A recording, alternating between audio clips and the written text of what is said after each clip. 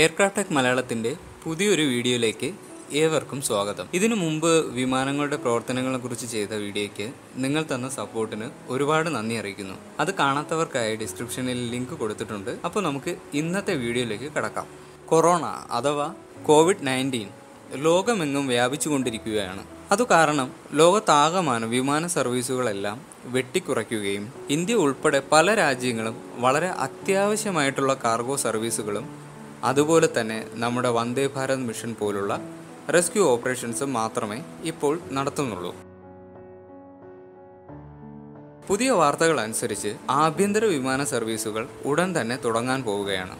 ഇന്ത്യയുടെ പല ഭാഗത്തു നിന്നും വിമാനമാർഗം സ്വന്തം നാട്ടിലേക്ക് പോകാനായി ധാരാളം പേർ കാത്തിരിക്കുന്നുണ്ടാകും.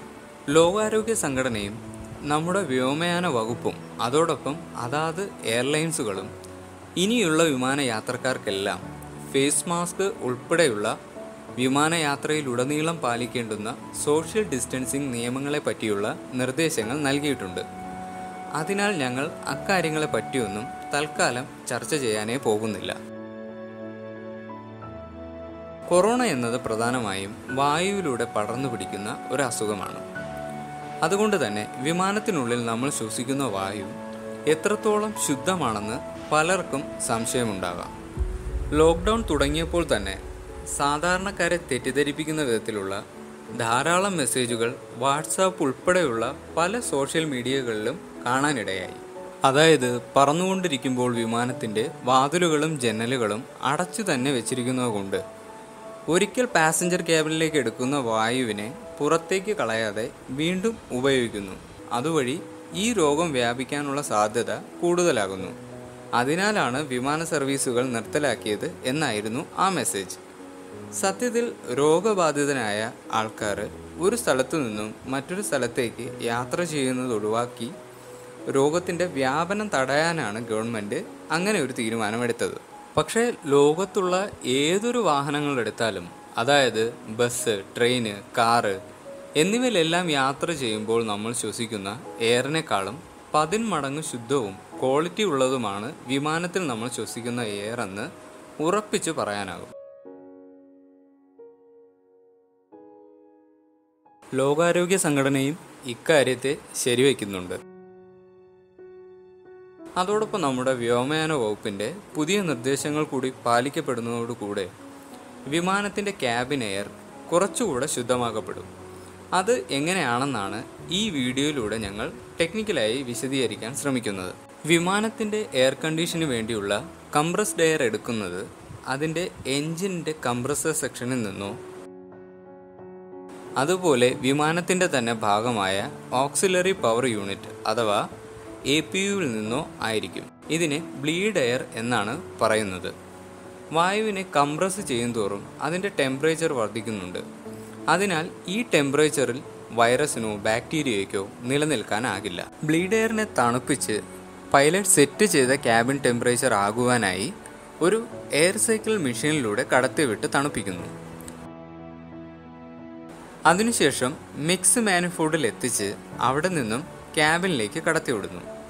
ക്യാബിന്റെ മുകളിൽ നിന്ന് താഴോട്ടായിരിക്കും എയർ എപ്പോഴും ഫ്ലോ ചെയ്യുന്നത്.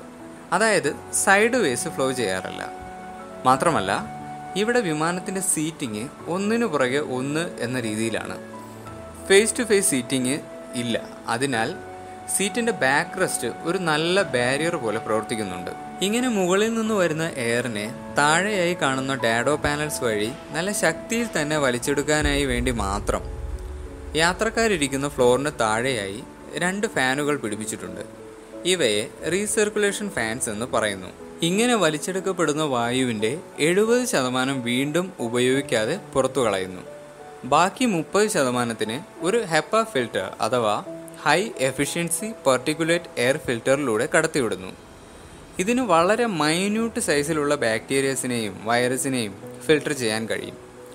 അതുകൊണ്ട് തന്നെ ഓപ്പറേഷൻ തിയേറ്റേഴ്സിലൊക്കെ ഇവ ഉപയോഗിക്കുന്നുണ്ട്. ഏതൊരു വിമാനത്തിന്റെ മാനുഫാക്ചർ അവകാശപ്പെടുന്നത് ninety nine point nine seven percentage ബാക്ടീരിയസിനെയും വൈറസിനെയും ഫിൽട്ടർ ചെയ്യാൻ ഇവയ്ക്ക് കഴിയുമെന്നാണ്.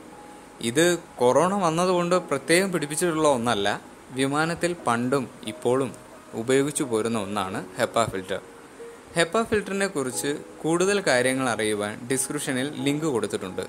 ഇങ്ങനെ ഫിൽറ്റർ ചെയ്യപ്പെട്ട മുപ്പത് ശതമാനം എയർ വീണ്ടും മിക്സ് മാൻ ഫുഡിലെത്തി പുതിയ എയറിനൊപ്പം മിക്സായി തിരിച്ച് ക്യാബിനിലെത്തുന്നു. ഇങ്ങനെ ഒരു മണിക്കൂറിൽ ഇരുപത് മുതൽ മുപ്പത് തവണ വരെ റീസർക്കുലേഷൻ നടക്കുന്നുണ്ട്. ഒരു കാര്യം ഓർക്കുക ഒരു സാധാരണ ഓഫീസ് റൂമിൽ മണിക്കൂറിൽ നാല് തവണയാവും റീസർക്കുലേഷൻ നടക്കുക. അതിനാൽ വിമാനങ്ങളിൽ ക്യാബിൻ എയർ വഴി പകർച്ചവ്യാധികൾ പിടിപെടാനുള്ള സാധ്യത ഒട്ടും തന്നെ ഇല്ല. വിമാനത്തിൽ റീസർക്കുലേഷൻ നടത്തുന്നതിനുള്ള കാരണം എഞ്ചിനിൽ നിന്നുള്ള ബ്ലീഡ് എയർ ഉപയോഗം കുറച്ച് അതുവഴി കുറച്ചുകൂടെ ഇന്ധനം നമുക്ക് ലാഭിക്കാനാണ്. നമ്മുടെ വ്യോമയാന വകുപ്പിന്റെ പുതിയ നിർദ്ദേശപ്രകാരം റീസർക്കുലേഷൻ ഫാൻസ് ഇനി മുതൽ വിമാനം പറക്കുമ്പോൾ ഉപയോഗിക്കാൻ പാടുള്ളതല്ല. ഈ നിർദ്ദേശം എല്ലാ എയർലൈൻസും അവരുടെ പൈലറ്റുമാർക്ക് നൽകി കഴിഞ്ഞു അതായത് മുമ്പ് പറഞ്ഞ ആ zero point zero three percentage റിസ്ക്കും ഇനി വേണ്ട എന്നാണ് ഇതിന്റെ അർത്ഥം. അതിനാൽ ഇനി മുതൽ വിമാനങ്ങളിൽ ഒരു പ്രാവശ്യവും ഉപയോഗിച്ച എയർ വീണ്ടും ഉപയോഗിക്കാതെ പുറത്തു കളയുന്നു. അതായത് മുകളിൽ നിന്ന് വരുന്ന ശുദ്ധമായ എയർ യാത്രക്കാരുടെ നിശ്വാസവായുവുമായി കൂടിക്കലർന്ന ശേഷം വിമാനത്തിന്റെ ഔട്ട്ഫ്ലോ വാൽവ് വഴി പുറന്തള്ളപ്പെടുന്നു. ഈ വീഡിയോ നിങ്ങൾക്കെല്ലാവർക്കും ഇഷ്ടമായെന്ന് പ്രതീക്ഷിക്കുന്നു. വിമാനങ്ങളെക്കുറിച്ചുള്ള പുതിയ അറിവുകൾക്കായി ഈ ചാനൽ സബ്സ്ക്രൈബ് ചെയ്യുക. അതോടൊപ്പം ആ ബെല്ലൈക്കൺ കൂടെ ഒന്ന് എനേബിൾ ചെയ്താൽ ഞങ്ങളുടെ പുതിയ വീഡിയോസ് അപ്ലോഡ് ചെയ്യുമ്പോൾ തന്നെ നിങ്ങൾക്ക് നോട്ടിഫിക്കേഷനായി ലഭിക്കും. അടുത്ത വീഡിയോയുമായി കാണുന്നതുവരെ wish you all a safe flying and happy landings this is Sajin signing off bye